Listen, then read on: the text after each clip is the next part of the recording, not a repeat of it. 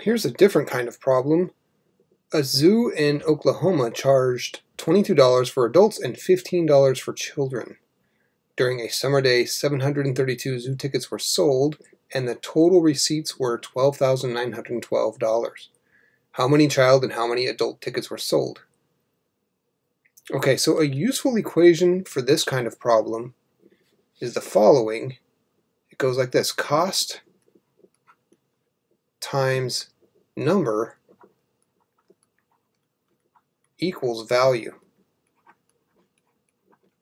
Cost times number equals value. So again, that might be a good one to internalize so that you know how to do the top row of the table for these problems. And again, use a table for these problems. It's going to be simpler, though you can solve these without a table. Um, to be consistent, you know, I recommend using a table on all of these problems and learning how to use the table for, for these kinds of problems. So let's do it.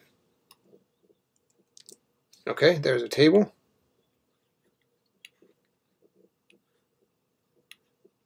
All right, cost times number equals value. Cost times number equals value.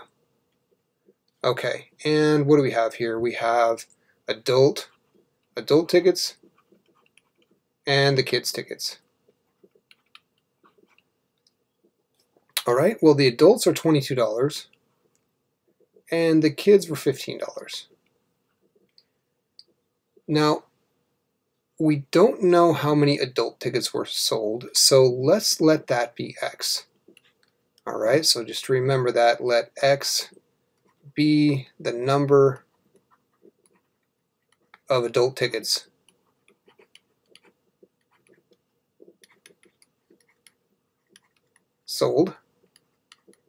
All right, and now we're only using one variable right now. So the number of kids tickets sold, let's see here, we had 732 total. Well, if X were the adult number, the number of adult tickets, then the rest must be the number of kid tickets. So how do we represent the rest mathematically? Like this, 732 minus x. Okay, I took the number, the total number of tickets sold, I subtracted off the adult tickets, that gives us the kid tickets. There's only adult and kid tickets sold, period, so the rest of them must be the kid tickets. All right, multiply across, we get 22x, and down here we get 15, 732 minus x. The value, how much money did each of these bring in? Well, the total value comes from right here, 12,912. So we add these two up to get the total value.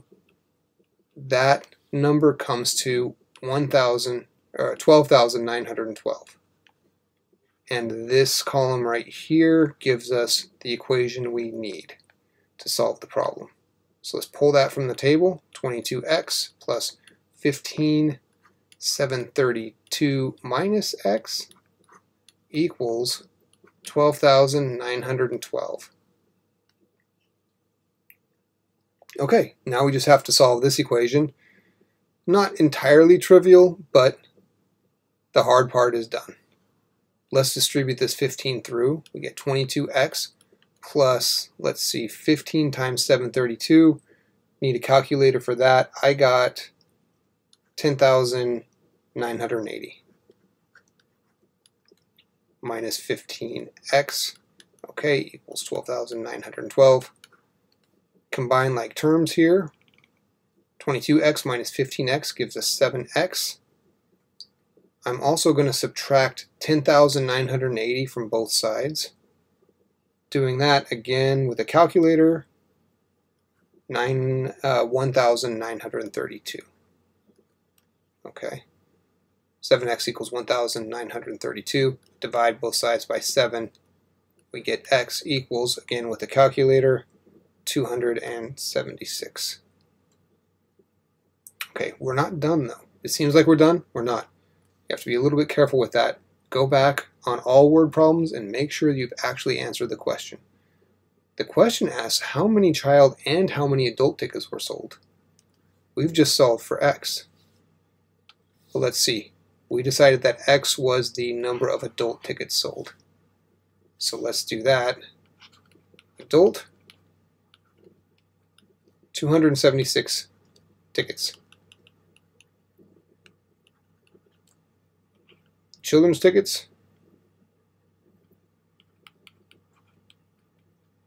let's see. Well, going back to the table, right, the kid tickets, the number is 732 minus x. So we're plugging in 276 for x, 276 for x, so it's 732 minus 276. Again with the calculator, 456. 456 tickets. Okay, so your answer should include both of these numbers.